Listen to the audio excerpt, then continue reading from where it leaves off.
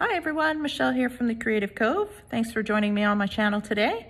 Uh, today I wanted to do a little quickie sketch video um, on daffodils. Uh, it's January, sorry, it's February here and uh, the middle of deep winter in Ontario and I am craving some green and some yellow and just some inspiration for spring. So I thought I might doodle some daffodils and I've been practicing a little bit here just so I can uh, demonstrate how to do it for you guys. And uh, again, my quickie sketches are all about um, capturing form very quickly. So if you're into learning how to sketch something, uh, the idea is just to be relaxed and um, have some fun with your pencil, your pencil crayons, whatever you have handy.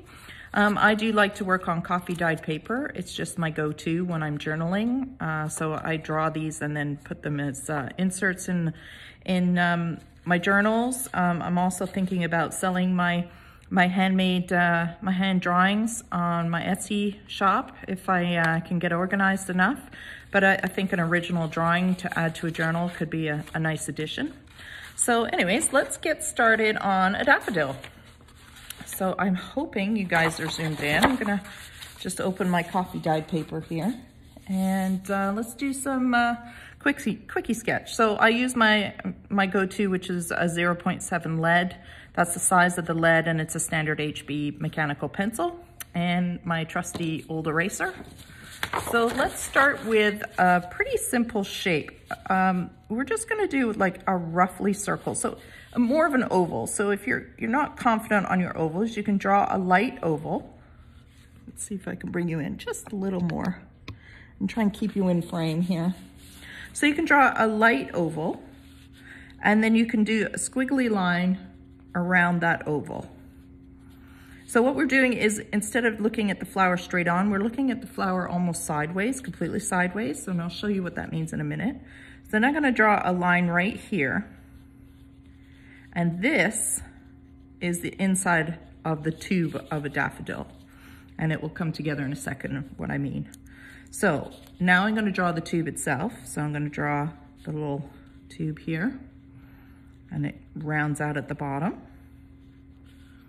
And now I'm gonna give it its petals. So I wanna create some three dimension. I don't wanna just give it some simple petals. I wanna give it some form. So the petals I know grow out from the base of that little tube. And I'm gonna wiggle some lines back, almost a heart shape. And then I'm gonna just curve it up a little like that. That's gonna be kind of like a, um, sorry, let me redo that. That was wrong. So I'm gonna do my little heart shape and then I'm gonna curve under like that and then up. So that this, this little petal that's growing towards us is curving up right here. Okay, so there's that. Let's do another one over here. So I'm gonna pull away from the center and then curve it back and maybe curve right here. So go around out to a point back to the center. There's one tucked back here that we can't fully see because it's behind this. So we'll just indicate a petal there. We'll do one coming out the side here. So I'm gonna put it underneath this petal. So I start the line back here scoop up, same, same idea, and then just roll it back to the center. And then of course there'll be another one back here. We just draw a line up and back. And you can pause my video and resketch and, and play with it until you get the form you're looking for. Because these shapes are kind of hard to describe as a shape, so it's more of a practice. So now I'm gonna just give my flower a little bit of texture. So I'm gonna pull up from the center. So whenever you're drawing something and you wanna capture its form, you really have to observe things like the direction it's growing in. So the, this grows up and these grow out. So I'm just gonna indicate a little bit of texture on these leaves by going in the same direction that the leaves are growing. So this one's going up, so I'm gonna go up like that and this one's going up. And now I wanna indicate what this part is by putting some shading in. And you see, I'm, I'm holding my pencil way back here because I'm just, I'm very loose. I don't wanna, I'm not putting serious detail into this flower. I just want to capture the form real quick. So give it a little bit more scribble here just to indicate a little bit more of a ruffle. Really darken here where the flower goes in like that. And I'm gonna put a little bit of shadow underneath the ruffle here just to try and pop that, this lighter bit forward. And I just real nice, nice loose scribbling. And I darken up inside in here, just where the light wouldn't penetrate as easily. Don't wanna go too dark. And I'm gonna just indicate a little bit of shadow in here, maybe a little bit in here, a little bit underneath. And if you overdo it, you just take your eraser. So I'm sorry if the camera shakes. It's attached to the table here. And I'm just gonna lighten up that center just a little bit. Okay. So now we've captured the flower. I think I'll darken this petal back here. It's getting a little lost against this. I feel like I've gone a little bit too dark. So let's lighten it up. Uh, just take my eraser back and clarify the form a little bit. Sometimes it gets a little muddy and you can lose it and you just take your eraser and bring it back. And that's, you know, part of the learning curve of, of sketching is where to put the, the shading, how to apply it without going too muddy, too dark, too fast. And that just comes with practice. Okay, so I think I'll make this guy a little bit more pronounced back here. I feel like he's a little short. There we go. So as you sketch, you can make these adjustments. You made a petal too short, too long, you can change it. So now we're gonna put the stem in. So the stem would come through here and down. So daffodils tend to have these little kind of fat tops and then narrower stems. So I'm gonna make a wider section here and then thin out the stem a little bit. And there's the stem. And we can give it a leaf. So they have these long leaves that are so exciting to see come springtime. They're the first thing that kind of pop up in my garden and I'm so happy to see them. So I just draw a line up, I stop at the petal, continue behind the petal. This leaf I'm gonna have crossover, so I'm gonna bring it back to here. And then I'm gonna bring the back end out here. So the, the leaf's kind of twisting as it grows. I'm just gonna put a little bit of texture in that. Clean this line up a little bit because it's in front and it shouldn't be. So there's one leaf and then we'll maybe, whoops, we'll do another little short one here. So I'm just gonna kind of wiggle a line up.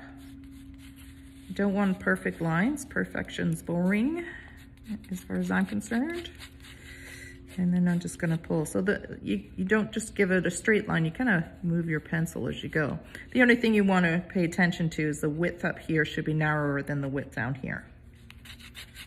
And then we'll just give that a little bit of texture. And there's our first daffodil.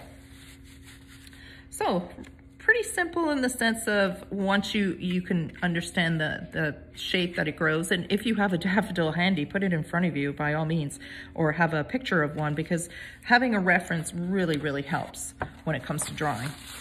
So let's maybe do a little bundle of, um, of daffodils, something, you know, like we could uh, do a couple that haven't opened yet. Um, we could do a couple facing in different directions.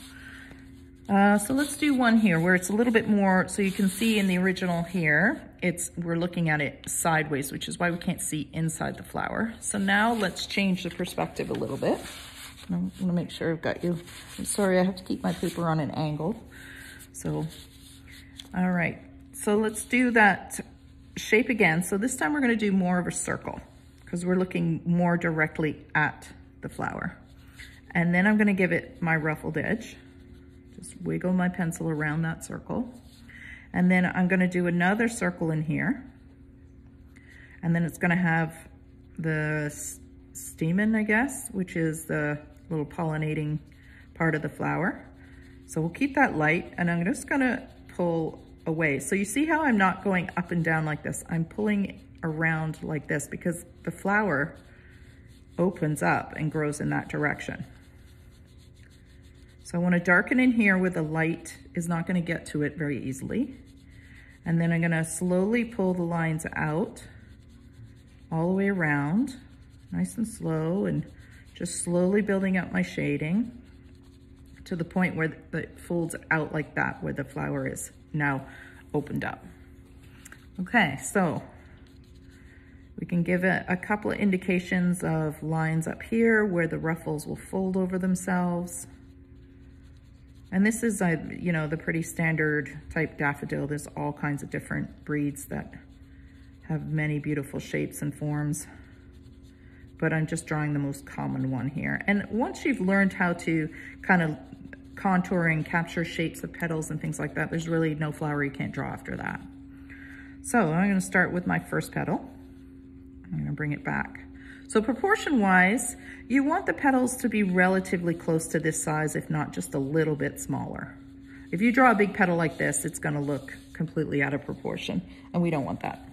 So just double checking I'm in frame here, sorry. The camera's below my head.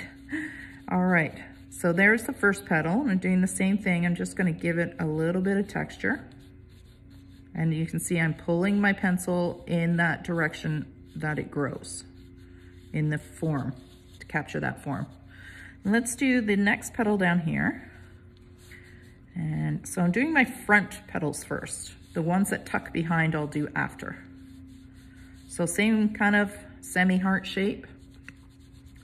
I'm gonna put a little bit of shading underneath the flute here and just pull out the texture. And then the one behind can come in now. You could do something fun where you curve it like that and then draw the line. So now this part of the, of the petal has curved over on itself. And just those little details add a world of realism to your drawings. And again, it's just practicing observation.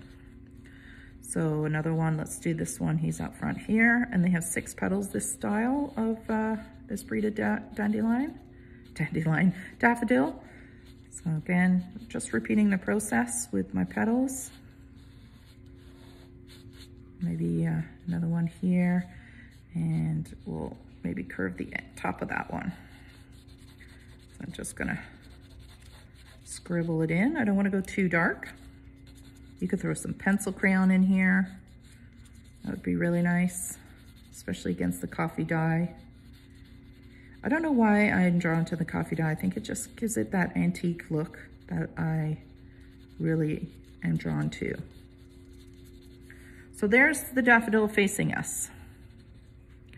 So if you want to pop the center even more, you can just darken a few spots just at the base of the petals. And you can see just adding that little bit of dark pops the center of the flower.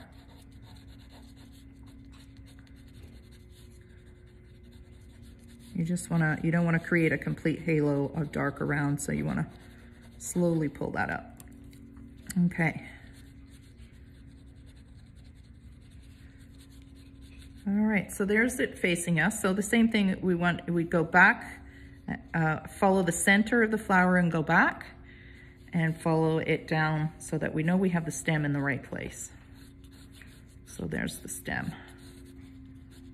And it, of course, tucks behind the petal. All right, so that's one. Let's do uh, one that hasn't opened yet. So composition now, instead of just starting with the head, I wanna, I wanna try and figure out where I want the next flower to be so that it makes a nice drawing. So I think I'll do one, I think I'll do one down here. So this one we're gonna do that's not completely open. So we're gonna do an oval type shape where it's narrower at one end and wider at the other. And then we're gonna give it its stem. So we're gonna go down like that. And then behind this one, we'll put it behind. and then the stem. So it's a little bit wider here because they have this uh, kind of like a dry peel thing that comes off. So this pulls away from the stem, this dry bit. Um, I have a pressed one here somewhere.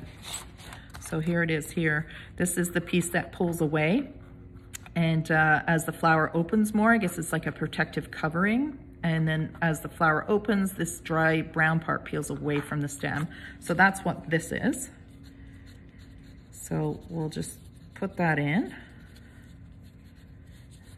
And now we're gonna give the, the detail to these, um, to the daffodil that's closed up tight. So all these ruffles and all these petals are wrapped in together.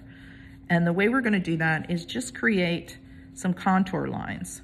So what's important here is you're not gonna go straight across like this. You're gonna curve your line. And then eventually we'll get to the top here and we'll indicate some ruffles where this part of the flower is all tucked in really tight. And maybe uh, another petal right here that hasn't quite opened. So there's the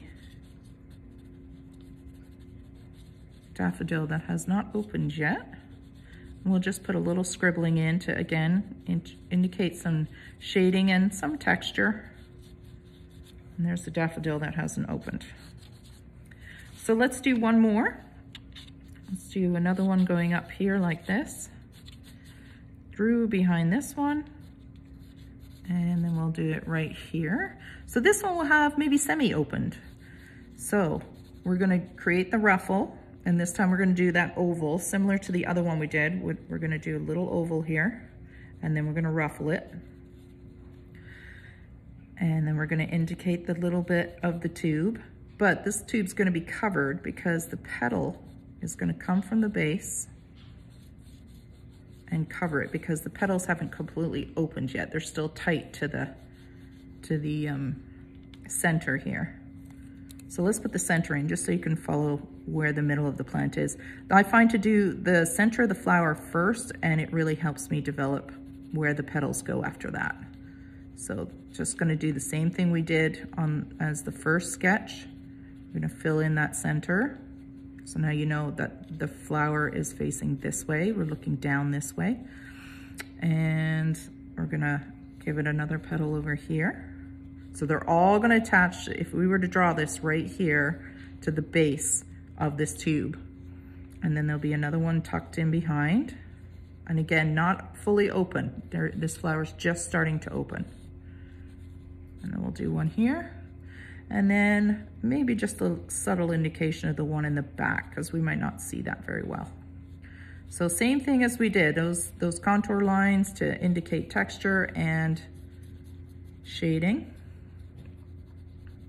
And again, these are just quickie sketches, nice and loose. Don't stress if you, uh, if you screw it up like I did, you know, you just find your eraser and you clean it up. And that's really all there is to it. Sorry, camera's shaking. And you just, this is a great way to practice and you're gonna find like some of them you're gonna get really well right away and others you're gonna find frustrating and you're gonna find what you do like to sketch and what you don't like to sketch. That's another fun one. So there we go, there's uh, how to draw a daffodil. And I think what we'll do is we'll put, um, we'll put some petals in. Let me just finish off that. So let's, uh, it's not petals, sorry, leaves. So we'll do a leaf through here. Click on my pencil. And a leaf down here. Let's do a nice big leaf up here. And there's your daffodil.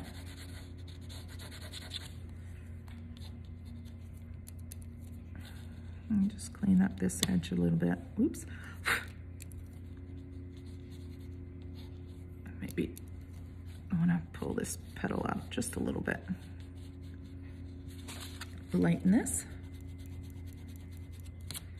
So you see, even even as I'm like drawing myself, I'll I'll see things that I'll want to change as I go.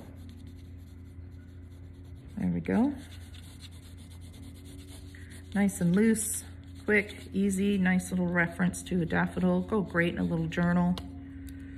Um, do we want another, let's do, let's maybe do a, so you can see how it's done, um, a bent piece of, uh, they usually don't bend, but sometimes they get a little beaten up from the weather. So we can put a little curve on it like that, just so you can see that it bends over and gives the little, little composition some interest as well.